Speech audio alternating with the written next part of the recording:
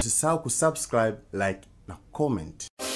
Bwana, siku chache zilizopita tulikuwekea tukio la nyoka e, aina ya chatu huyu ambaye alikuwa huko katika kijiji cha Kasala wilayani Chato mkoani Geita, na nyoka huyu e, aliabudiwa na baadhi ya watu wakiwemo hawa wazee wa mila ambao walijitokeza kwa nyoka huyo kuweza kumwabudu e, kwa kumwekea mbuzi, mtama na vitu vingine vingi kwa kuamini kuwa nyoka huyu angekuwa msaada kwa maisha yao kutokana na sababu mbalimbali kwamba e, katika eneo lile mvua zimegoma kunyesha mazao yanakauka lakini pia na mambo mengine mambo haendi vizuri na kuna uchimbaji wa madini ya dhahabu kwamba e, dhahabu sasa zimetoweka. Kwa hiyo walipomwona nyoka huyo katika msitu e, wakaamini kuwa kwamba e, huyo nyoka ni nyoka wa miujiza ambaye ametumwa na wakaanza kumwabudu kwa kumwekea vitu hivyo. Sasa kuna habari nyingine ambayo e, kutokana na nyoka huyo. Bwana mamlaka husika ya wanyamapori ilifika katika kijiji hicho na kumchukua nyoka huyo e, kwa kushirikiana na wataalamu wa nyoka kutoka katika e, makumbusho ya bujora jijini mwanza. Bwana nyoka huyo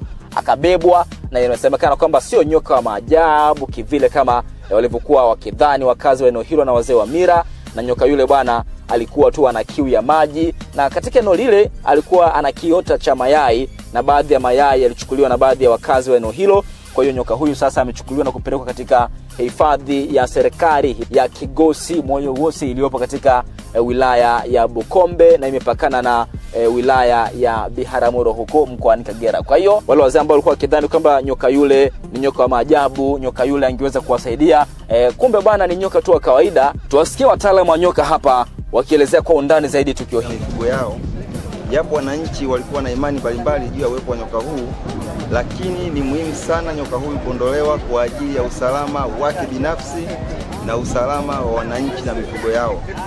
Nyoka huyu tumemkamata kwa kushirikiana na wataalamu wa nyoka kutoka makumbusho ya Bujola jijini Mwanza na tunampeleka pori la akiba la, la, pori la akiba la Kigosi. Baada ya kupata taarifa za mnyama huyu aina ya chatu, sisi kama wilaya tuliwasiliana na watu wa kanda ambao wanaweza kawa na sehemu nzuri ya kuwahifadhi wanyama kama hawa, na bahati nzuri taarifa hizo sisi tumezipata jana, lakini leo asubuhi tumeweza kuwasiliana nao na wamefika na tumemchukua. Kwa sababu mimi nimekaa na nyoka muda mrefu miaka kumi na nane kumi na tisa.